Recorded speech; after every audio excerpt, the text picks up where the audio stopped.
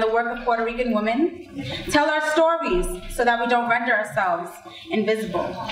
We were here, we are here, and we will always be here to demand justice, take care of ourselves, and communities, and to celebrate and love fiercely. Nosotras dos estamos aquí muy complacidas para estar con ustedes hoy y le damos la bienvenida para eh, la celebración de la mujer puertorriqueña del Día Internacional de la uh, wait, I messed up, del Día Internacional de la Mujer del 2016. Me llamo Haydee Morales y estoy muy orgullosa de estar aquí con mi hija Marcella. So once again, we just want to welcome everybody here. Thank you for being here to celebrate um, Puerto Rican women on International Working Women's Day. My name is Marcella Morales, and I'm going to be here hosting um, alongside my mother. So thank you. So, lo que vamos a hacer es que vamos a hacer una invocación de nuestro altar um, y entonces vamos a hacer el himno nacional de Puerto Rico. Vamos a hablar un poco sobre eh, el homenaje de Doña Delfa Vera, quien es ella, y entonces vamos a comenzar los reconocimientos con música, con video, con palabras y con mucho gozo. ¿Estamos? So, we're, we're going to do the ancestral altar. We're going to sing the Puerto Rican national. We are all going to sing the Puerto Rican national anthem. You even got the words here, no excuse. Um, and uh, then we're going to have music and dance. We're going to talk about Doña Adelfa Vera and her memory. And then we're going to do the awards and we're going to have fun. It's such an honor and such a privilege to be here. I ask myself today, when is it that we get a chance to take a moment to honor specifically Puerto Rican women? Accomplishments, our victories, our trials and tribulations, all of that together, today is the day. Um, with that, this ceremony has a focal point for all of us to center ourselves and ground our, this ceremony. And that's behind me. That's the altar that you see here. It's a community altar. And if you could just cast your gaze to the altar, what you'll see are the five elements of nature represented fire, earth, wood. I'm missing some. Air. Water. Air. Air. Ether. In many different ways, in a lot of symbolism on this altar. Beautiful flowers. Um, not too far away from here is Central Park and some beautiful gardens. And um, I tell my students sometimes when we have questions of moments that we have to talk about diversity is that we don't go into a garden just to see one set of flowers. We go into gardens to see the, all the beauty that nature has for us.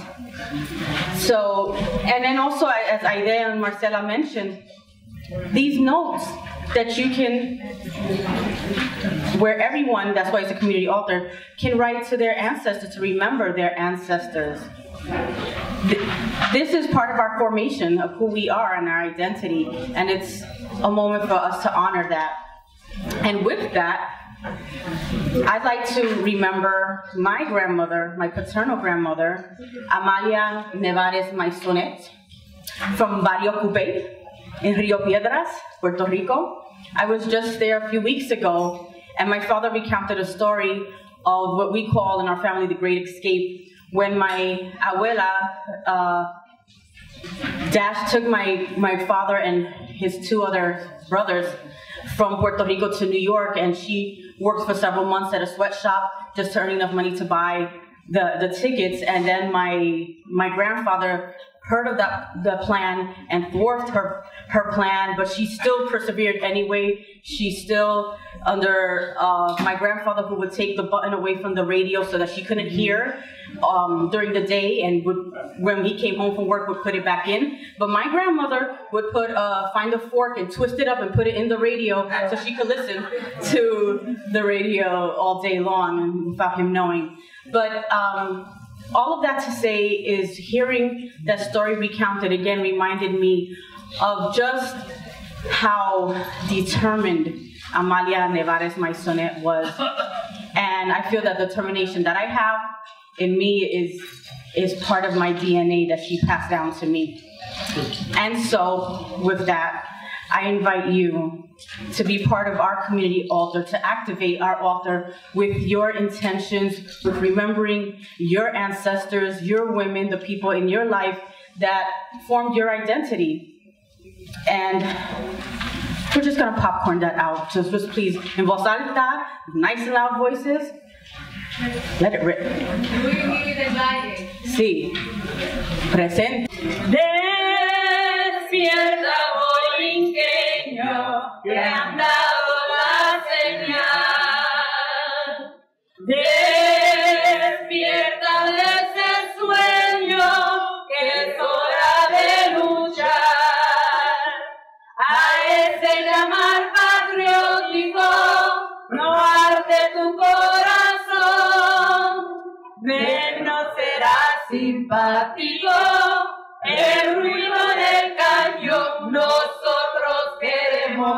libertad. Nuestro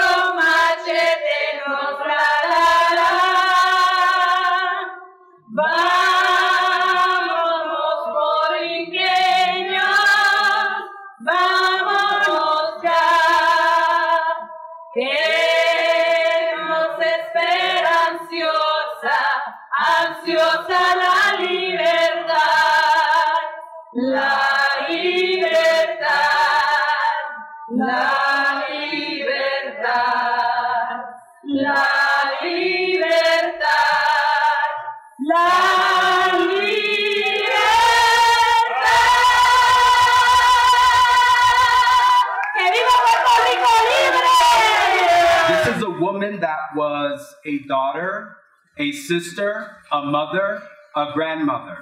She was a revolutionary, a nationalist, a socialist, an activist. This was a woman that, from the time that she was 13, 14 years old, fought for the independence of her country until she died when she was in her mid 80s. We're talking about 70 years of solidarity, 70 years of work, 70 years of sacrifice, 70 years of repression, 70 years of racism, 70 years of colonialism, 70 years of struggle. A woman that gave all of her life and all of her soul to her nation, which she considered her family. She considered Puerto Rico and all Boricuas her family. She saw her nation colonized by the US and could not stand by and do nothing. She broke barriers. She was a woman that was a leader. She did not take the typical stance that women did in the movement. She didn't let patriarchy and chauvinism and sexism stop her from being the revolutionary woman that she was.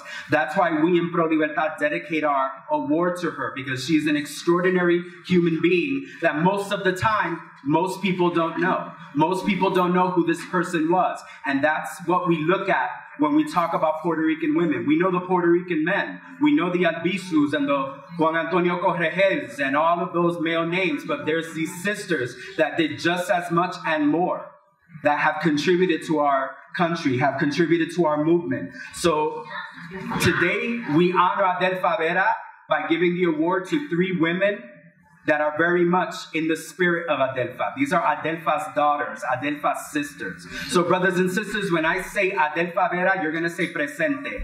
Adelfa Vera. Presente. Adelfa Vera. Presente. Adelfa Vera.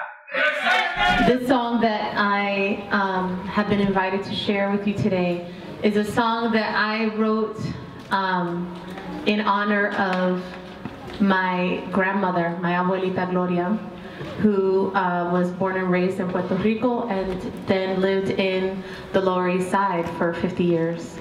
Um, she's since passed away. She's on the altar.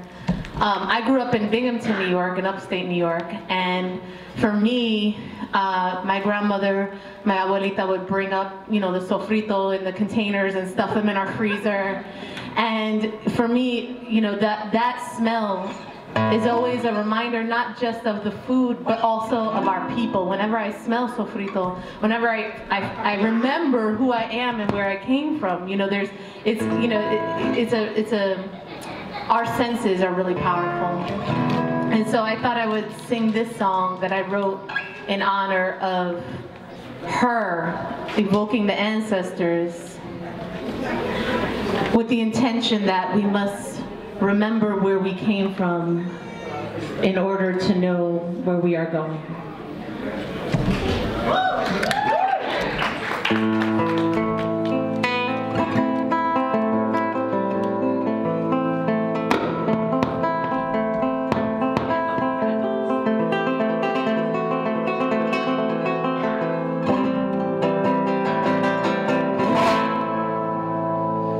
en lo más profundo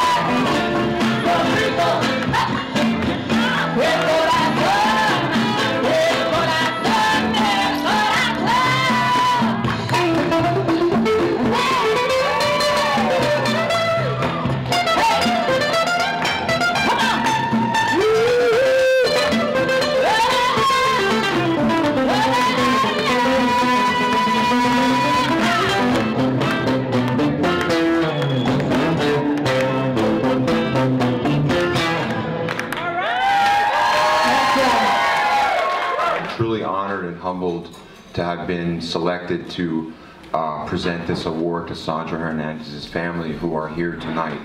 Um, it was the late 90s, which I say in the way my elders say it was the 60s or it was the 70s.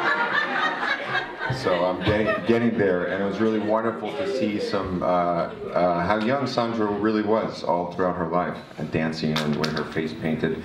So we were fighting Giuliani, who you might have heard of, and um, can I get a boo?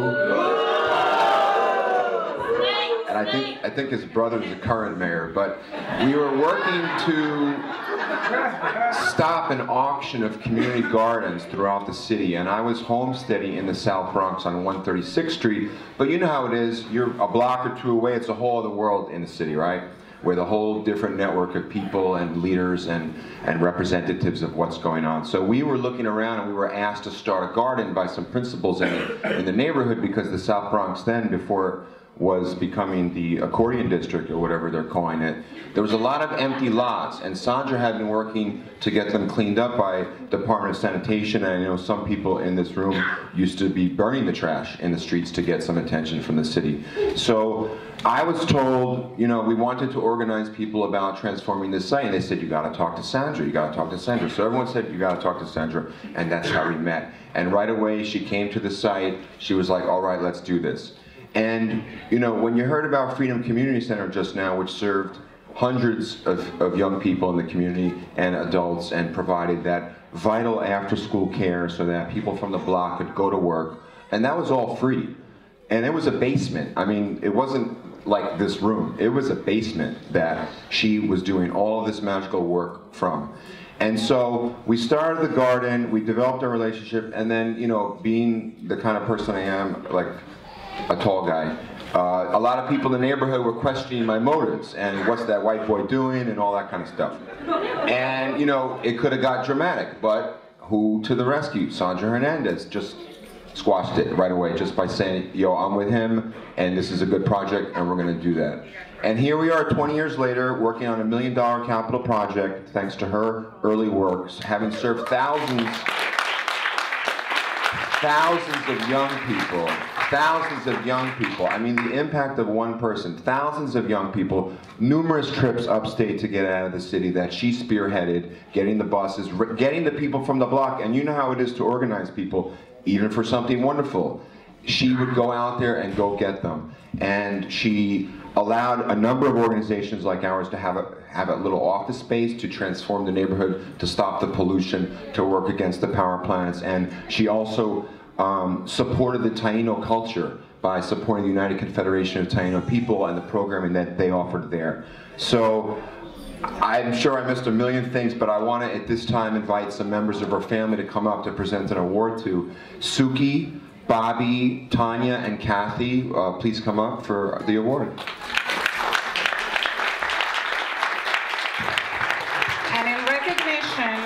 her Taino ancestry before the family comes up. We have a gift from us through Vanessa Tricoche to Sandra. So if you all could stand. The, our people used to use the conch shell to communicate to the ancestors. So it's us communicating to her, thanking her.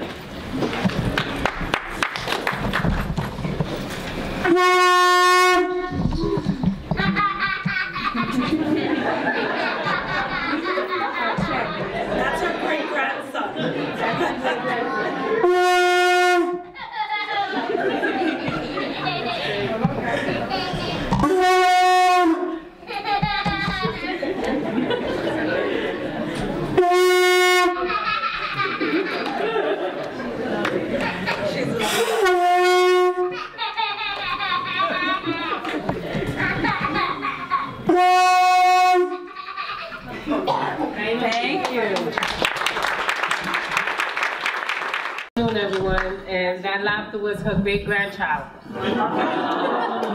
so, um, my name is Kathy. I'm her oldest daughter, and what I'm saying might be a little redundant because of all the beautiful words that were said before me. But uh, our mom was a woman who felt privileged for the opportunity to live two lives in one lifetime. One life of substance abuse and one full of overflowing love for family, for friends, and for her community.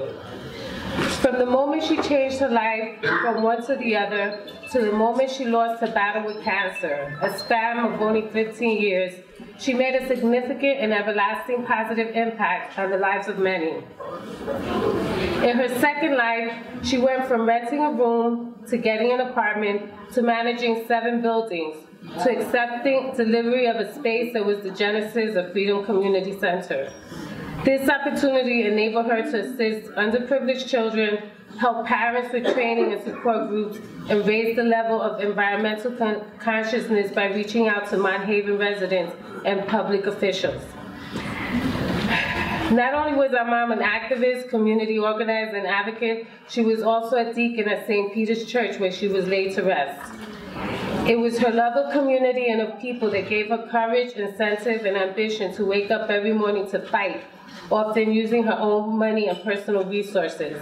Eventually, she was able to secure grants that she assured went right back into her community. This enabled her to enhance services. By the grace of God, our mother met Joe Perez and Cherry Tree, an organization that wrote grants for small businesses. Through Cherry Tree, my mother was able to negotiate with abandoned property owners to develop community gardens to grow fruits, vegetables, and flowers. She would later marry Joe, who filled an important role in her life. Having a spouse and partner invigorated my mother's life and her work. In addition to being totally supportive of my mother's work and community, and community, Joe helped to expand my mother's view of the world, and they traveled to places our mother never knew existed, never mind dreamed of visiting. Our mother, Sandra, was an amazing woman who led an amazing life. She lost her battle with cancer and passed at the early age of 55, expressing that her life had been fulfilled. She was happy about her life. She lifted herself out of the bowels of drug addiction to make a positive mark on her neighborhood and her community. The naming of a city street in her honor is indicative of her impact. The hundreds of people attending her service is a testament of the reach of our mother's love. She will never be forgotten and will, she will be loved and will never be forgotten. May you rest in peace, wonderful mother. My siblings and I would like to congratulate the other beautiful women being honored tonight for making a change in their communities. Finally, we would like to thank Lillian and the organizing committees without whose help this event would have been very challenging. We love you, Mom. We love you, Mom.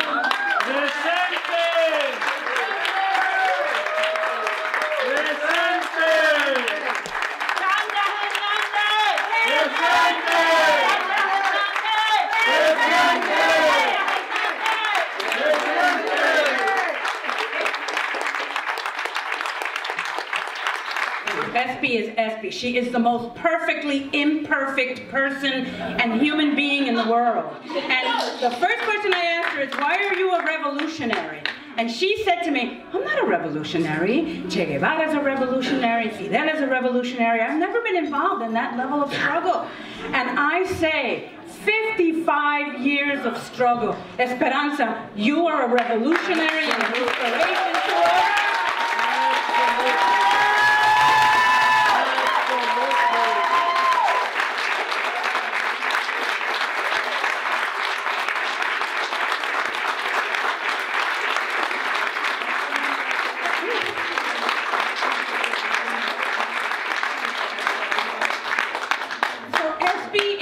Woman who is fearless. Even though she's afraid and she stutters and she trembles and she's not going to say it correctly, she doesn't give a shit. She's going to stand up there, she's going to say it, and she doesn't care what you think. She's going to say it. And sometimes she states it in what I call hyperbole. And she says, our people are dying in the streets. And we're like, and then we're like, oh my God, you know what? In the essence of what she is saying, she's absolutely correct. She is absolutely analytical. She is looking at the political consequences of every decision that gets made in this city, in this country, in this globe. And she has this uncanny ability to be able to get to the grain of what exactly is happening. And so you sit there and you say, where did you get that analysis from? And then you sit there and you start to read and you say, oh my God, there is this woman who has this ability to be able to read what is happening throughout the world and bring it back into the communities. Espy is the most, I don't use these words lightly, Espy is the most extraordinary organizer I've ever seen. And I am,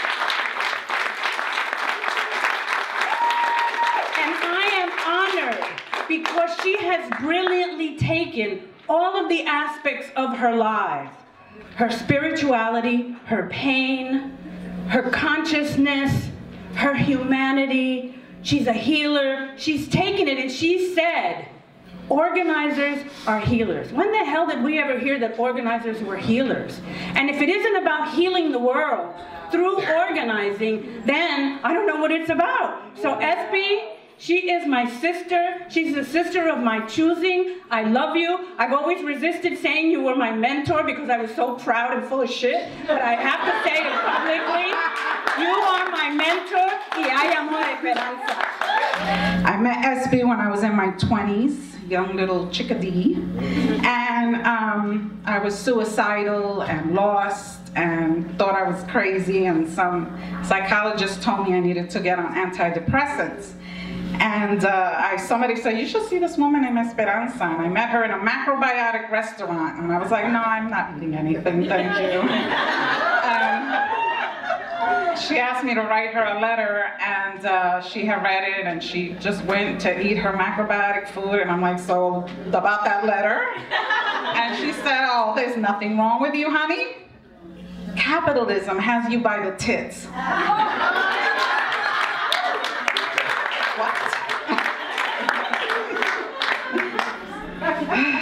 so I was her student.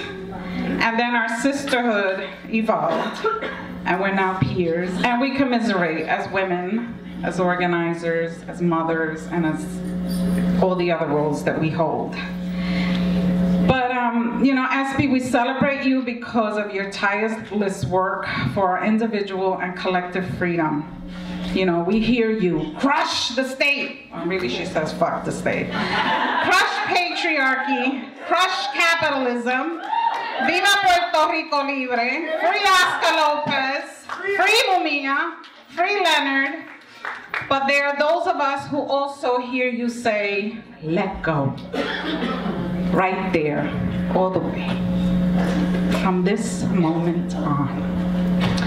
Your work to transform countless number of women of color through your model of emotional release has created an army of powerful change agents to transform our own lives, that of our families, our communities, and the planet.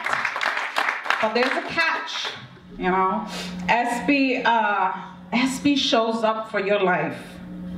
You know, she does all the marches and then she shows up for your life. And I remember when I had delivered Marcella, who's co-facilitating, and I had been in labor for 23 hours.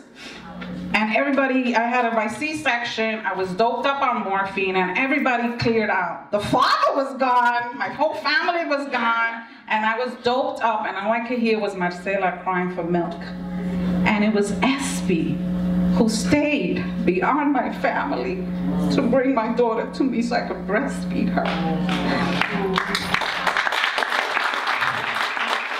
So here's the catch, okay? It's hard to repay you for how you show up in people's lives and what you have done your entire life for so many others. When I ask Espy, what can I do? You know, she's clear. She's like, don't give me things. So I got, you know, she nearly ripped me a new asshole and I bought her an iPad mini. She was like, oh, I have to listen about Apple and all that shit. So she doesn't want things, right? She doesn't want things. She wants you to show up. She wants you to go with her to 33 Mujeres for Oscar. 34 women. She wants you to go to Plymouth Rock with her. She wants you to go to the Mumia demonstration with her. And she wants you to celebrate her too through your actions and through your undying, your unwavering stand for justice for your life, for your family, for your community, for your people, and the planet. And that is no small ask. Because you gotta have a lot of integrity to do that. So she doesn't want things, she wants us to be a stand for justice. And today we celebrate her for all her work, but Espy is also approaching the end of her 60s. And so I would like for all of us to sing a very happy birthday to Espy.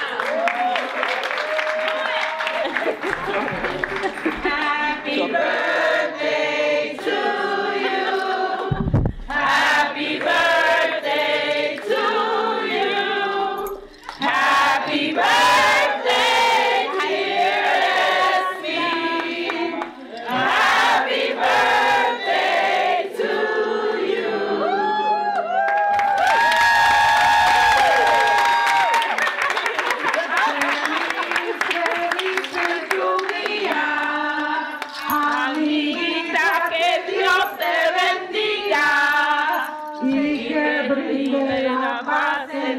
vida.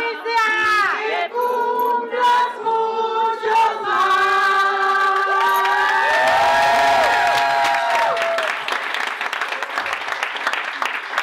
Seventy. Make a wish. Me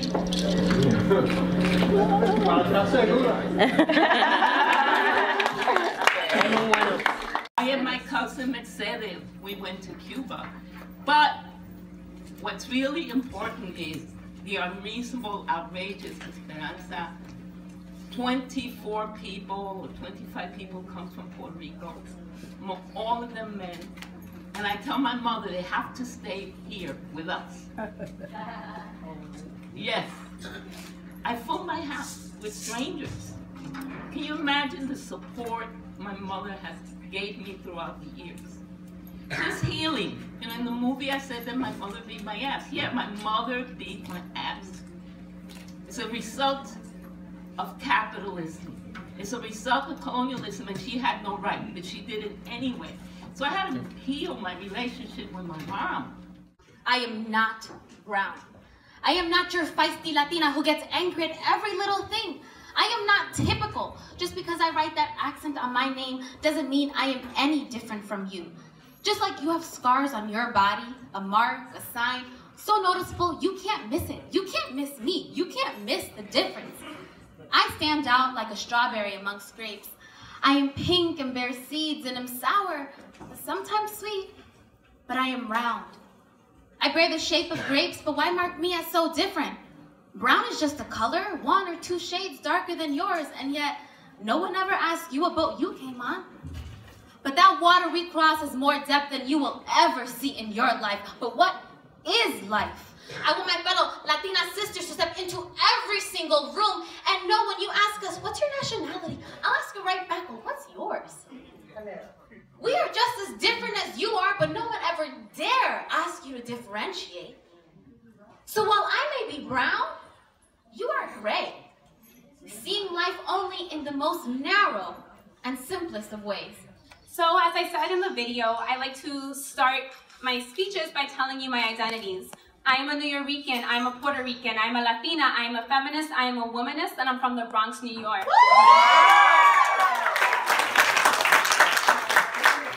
And I am here, and I am here today because of the fierce Puerto Rican women in my life. I openly like to joke about my childhood role model being J-Lo. to be honest, when I was a little girl, um, she was my role model not because I'm a singer or dancer, because trust me, I cannot do either very well. I did not inherit that from my family, unfortunately. But she was my role model because when I was growing up, she was the only public figure that I saw who shared my identity as a Puerto Rican woman from the Bronx. Later on, when I was um, graduating from high school in 2009, that was a really key year for me because not only was I graduating from high school, I was also accepted into my dream school on a full financial scholarship to Columbia, and I was one of the very few people of color at the school.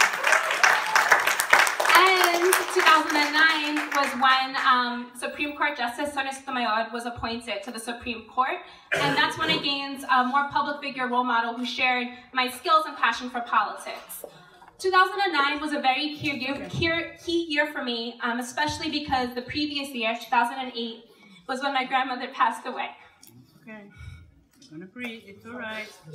We here with you. You're gonna breathe. Say her name, baby. Say her name. Say her name. And so while I joke around about J Lo being my role model, um, I really must be honest and say the two role models in my life are the Puerto Rican women, Rosa Matos, my mom, who's here. Hi, mommy.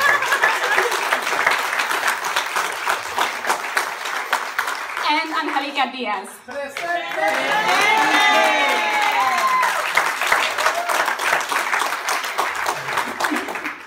So over the last um, couple years, I've actually keep getting asked a question from my friends, from colleagues, and even from strangers. Why am I the way I am today? And for the longest, I would just shrug and say, I don't know, I was probably just born this way. But after some deep reflection, the reason why I am this way is because I come from a matriarchy. It is because of my mom. I won't make you cry too much. Um, she raised me to be fierce, opinionated, and unstoppable.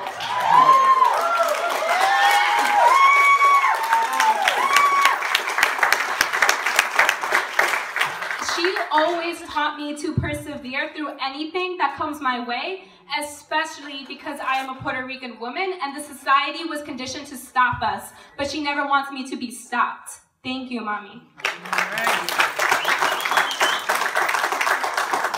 And then there's my grandma, Angelica Diaz, who passed away in 2008. She taught me to be loud and unapologetic. and I must dedicate this award not only to my own mother, but to my grandmother, who inspired me to become an advocate for transformative change no matter the barriers. She was an incredible leader in the South Bronx and always advocated for her community, for her family, and for her church. She worked alongside issues tied to housing and healthcare reform, and she volunteered on political campaigns and collaborated with the Young Lords.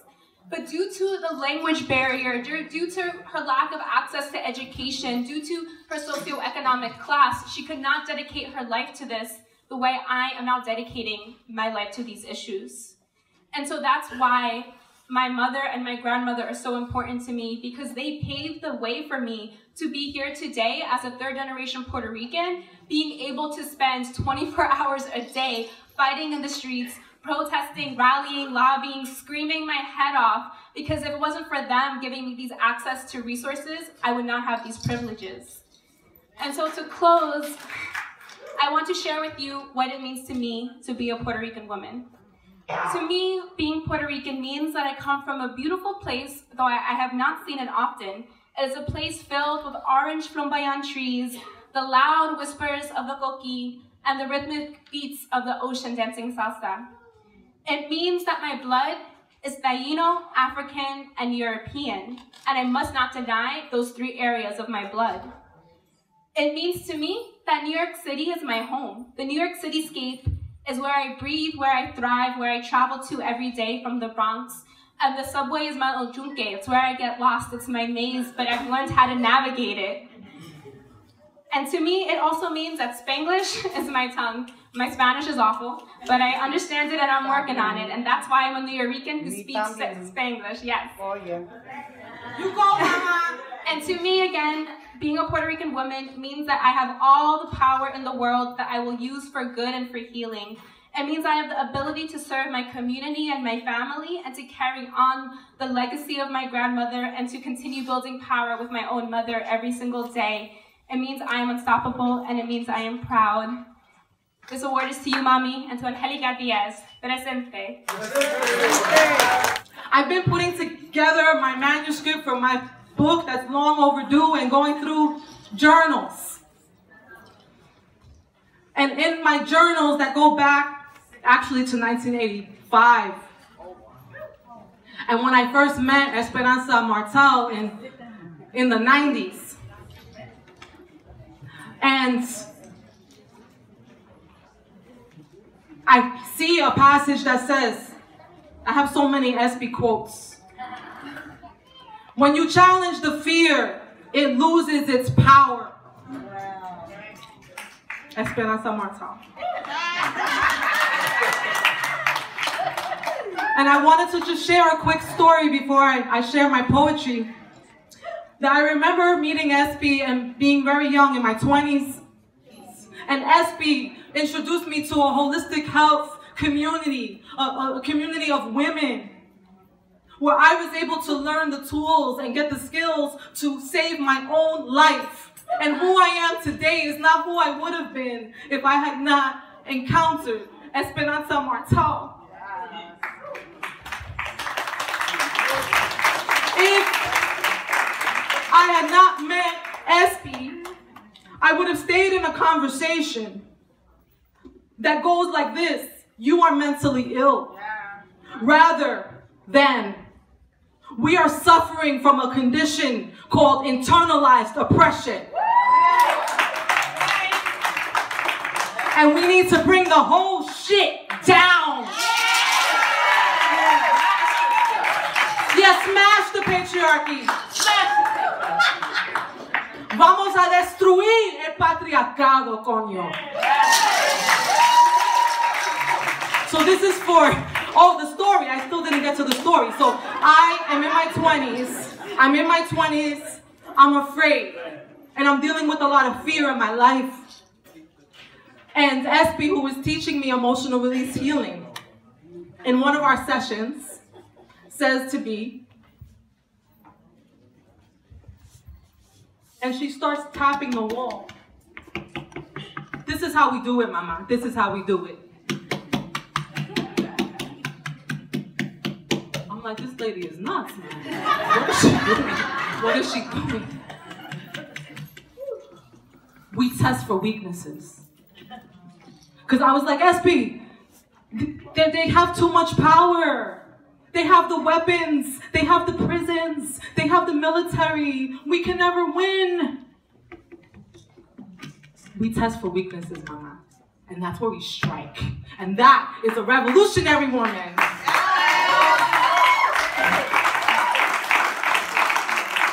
So, ¿a dónde está la, el revolucionario? ¿A dónde preguntas tú? Pero no preguntas sobre la revolucionaria. ¿Por qué pregunto yo? Recordemos, por ejemplo, nobles nombres como Ana Caona y la guerrillera Tania que se mató con Che. Y yo te pregunto otra vez, ¿a dónde está la revolucionaria? Como los años 60, nobles nombres como la dinámica Iris Morales, la fenomenal Lolita Lebrón y la valiente Dilcia Pagán. Hay mujeres que se ven cara a cara con la muerte, como las mujeres en Chiapas, las mujeres viequenses y las mujeres con coraje en la diáspora, como Esperanza Martel. ¿Y la revolucionaria? ¿A dónde está? ¡Presente! ¡Presente! ¡Presente! Al frente de la lucha como siempre, que el miedo de la muerte dicta nuestra valentía nuestras canciones y oraciones para un mundo lleno de justicia. Aquí estamos las mujeres y aquí está la revolución. Aquí estamos las mujeres con nuestras almas en consagración. Vivimos la causa con cada respiración, con luz y poesía. Luchamos contra la deshumanización. So this is a song and this is for SB and for all of my sisters here in my, my circle sisters, my healing sisters, this is for all of us. For my mother, my, abuel, my abuelita, mis, mis antepasados, mis antepasados. Anoche cuando yo dormí,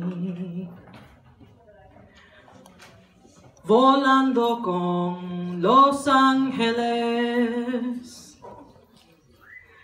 te juro yo oí la voz de una diosa anoche cuando yo dormí. volando con los ángeles. Te juro yo oí los mandamientos de una diosa, la madre mía, pura santa, la todopoderosa, Atabeache, me dijo, Atabeache, te juro, Atabeache.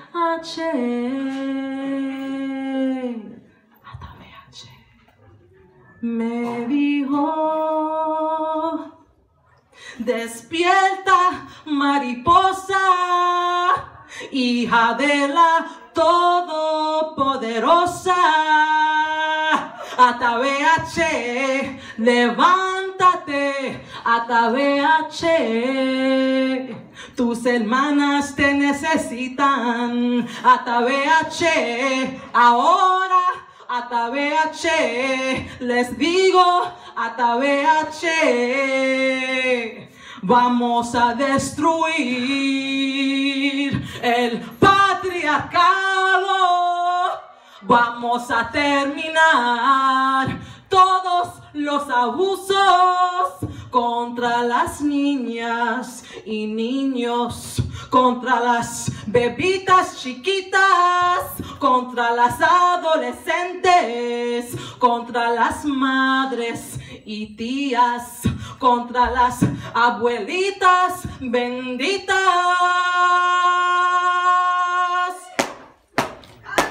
Despierta mis hermanas, defiende lo tuyo, despierta mis queridas, defiéndanse en sí mismas, despierta mis hermanas, defiende lo tuyo, despierta mis queridas, defiéndanse en sí mismas, despierta mis hermanas, defiende lo tuyo, despierta mis queridas, defiéndanse en sí mismas, despierta mis